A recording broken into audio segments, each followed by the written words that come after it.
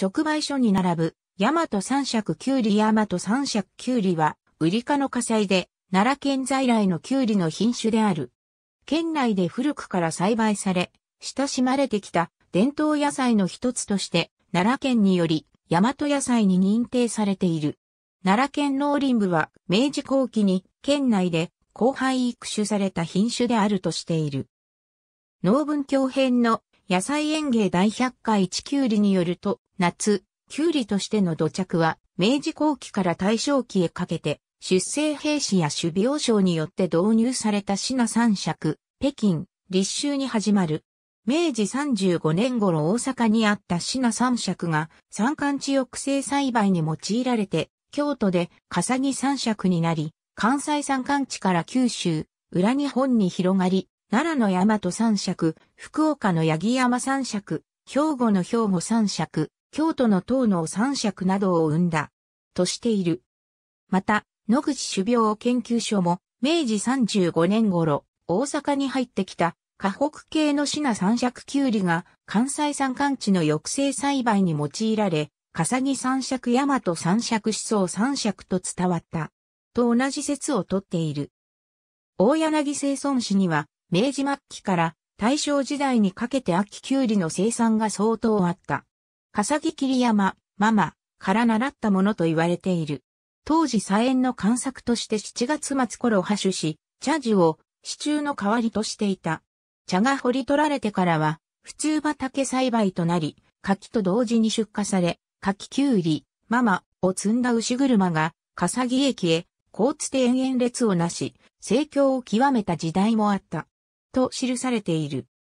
東山村氏によると、筆者が少年の頃、笠木の桐山、ママでは冬に季節外れのキュウリを市場に出荷して高値に買われている。これにはキュウリを貯蔵する秘訣があって、その秘訣は門外不出になっているとおとぎ話めいたことを聞かされた。とあり、これを聞いた添上郡東山村室津の住民が大正の初め頃、門外不出の笠木三尺の種の代わりに、新国三尺で、秋、キュウリを栽培したのが始まりであるとされる。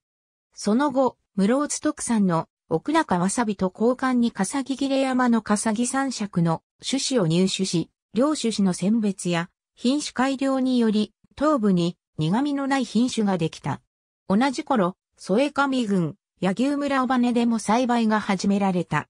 一方、奈良県農業試験場の説によると、京都府相良地方から1890年に、添上郡京川村に導入された台湾ケマ、白皮三尺が同軍大、柳生村で、北京と交雑して育成されたとされている、とされる。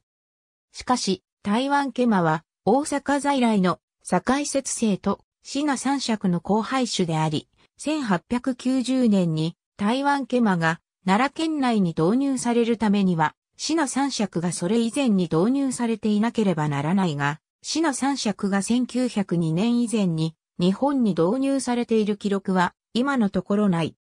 また、大柳生孫氏が笠木桐山から習ったとしていて、京川村から伝わったのではないことや、大阪市宮古島区発行の何話の伝統野菜、ケマキュウリ物語が大阪府内に北京が導入されたのを1904から5年の日露戦争の際とされるとしていることから、明治23年導入説は実証性が乏しい。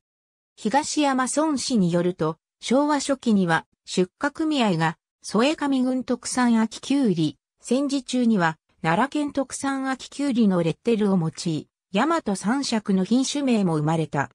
奈良県農業試験場編の奈良県農業試験場100年記念資料編によると、1933年に大和三尺が育成されたとされる。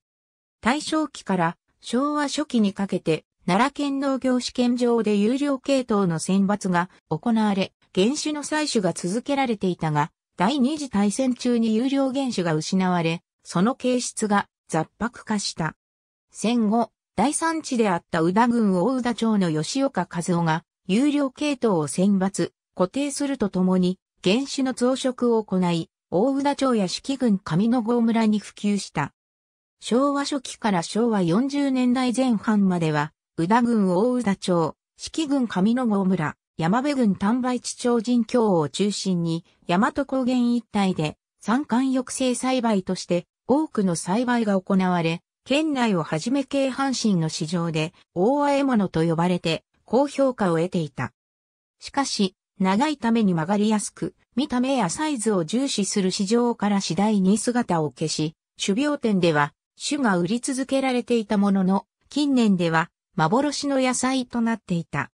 大和三尺きゅうりの奈良漬2000年、奈良市内の森奈良漬店が、県内の農家に呼びかけて、契約栽培を始め、戦前に親しまれた大和三尺の奈良漬が蘇った。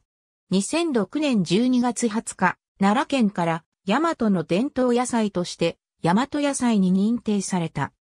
鮮緑色白イボの夏秋鳥用きゅうりで、通常35から40センチメートル前後で収穫するが、採取用に完熟させた果実は文字通り90センチメートルにもなる。種子が少なく、肉質が緻密でやや厚い皮が特徴。苦味がなく、きゅうりの醍醐味であるポリポリとした歯切れの良い食感があり、食味に優れる。近年、歯切れの良い食感を活かし、奈良漬の加工原料として、奈良市、大和郡山市、桜井市の一部の地域で生産が復活し、契約栽培されている。漬物きゅうりの代名詞にもなった品種で、コリッとしっかりした歯切れが特徴である。奈良漬への加工が主だが、浅漬け、ぬか漬けなどの漬物はもちろん、生食、もみきゅうり、もろきゅう、冷や汁などにも向く。水分が少なく固めなので、巻き寿司や炒め物にすると、べたつかずに美味しく仕上がる。巻き寿司には、一本で十分な長さがある。収穫が遅れて、太くなったものは、味噌汁の実などにも用いられた。ありがとうございます。